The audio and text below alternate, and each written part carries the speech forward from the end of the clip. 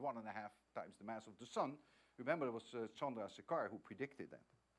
But there are cases whereby the mass of this object is much higher than that, 10 times the mass of the sun.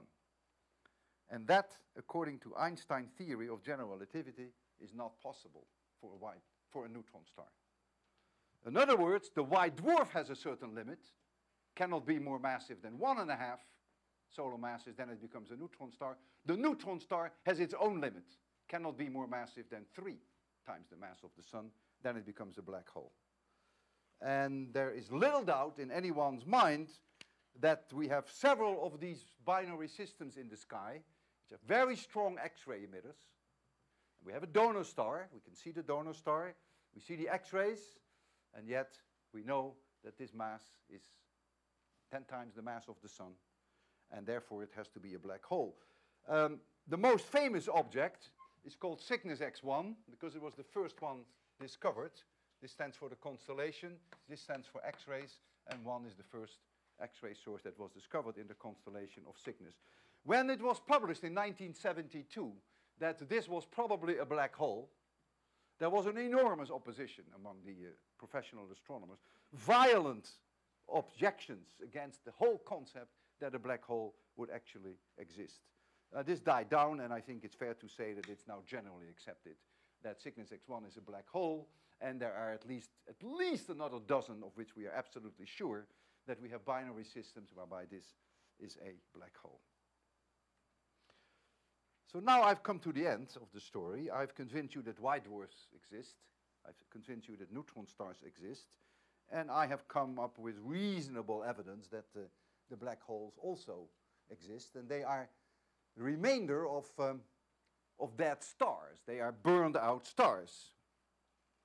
Now, if a neutron star or a black hole finds a close companion, then uh, that close companion can really be a turn-on, so to speak, no pun implied. And this star can start to shine with an energy thousand times more than it did before, except that it's all in X-rays.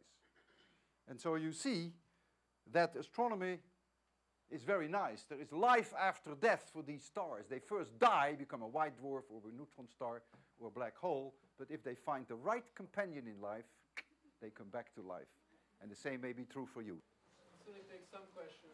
Uh, wants to know why are, are black holes really black?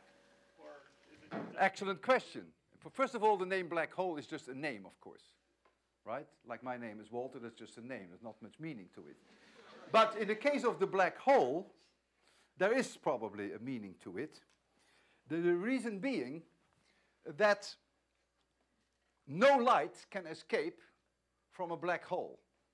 Nothing can escape from a black hole. A black hole is one-way traffic. Once you fall into it, that's it for life. You can never get out anymore.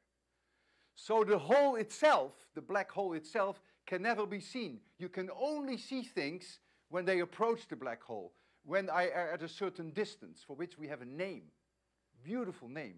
We call that the event horizon. And so if here is the black hole, then there is here a sphere, which has a certain radius. And that radius is what we call the event horizon. As long as you're outside that sphere, you can change your mind and go back.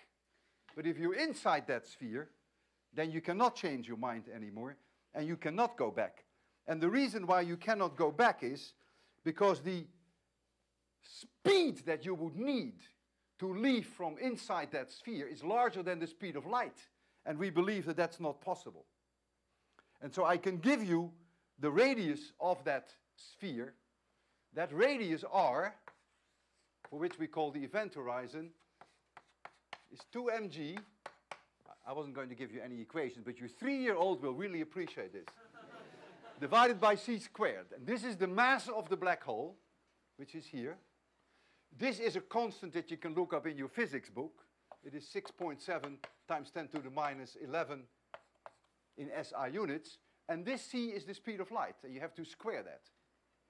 And so if you now ask me, what is the radius of the Earth if I squeeze the Earth into a black hole, you find one centimeter. So if you take the whole Earth and you squeeze it and squeeze it and squeeze it, and you make it smaller than one centimeter, it will become a black hole and no light can escape. If you do the same with the sun, it has a radius of two miles, and then it becomes a black hole.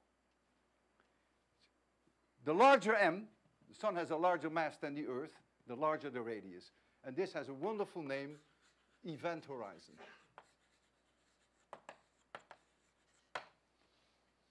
And so when you go through the event horizon, you have the speed of light. You cannot come out anymore.